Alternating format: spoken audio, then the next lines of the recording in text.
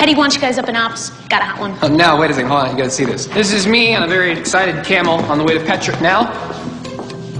Now? I got a camel and a. I'm on a camel. This, oh, this is my favorite. Look at that. This is me riding through this the sand dunes. You can't tell that's me, but I'm the driver. Look how much air I'm getting in this photo.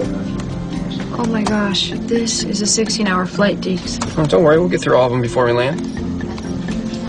And this, that, you know that guy. Hold up. Huh.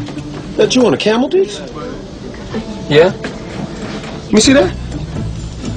That's funny. What else you got? I got this. Ha! Look like Lawrence of Arabia. Right? That's what I said. Be my guest. Yeah?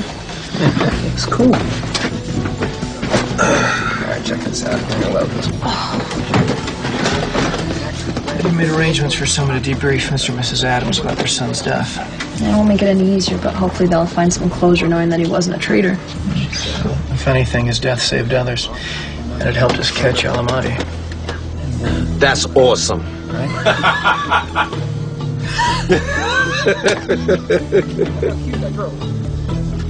Love it when our boys get along. I love it when someone else has to look at Deeks' vacation photos.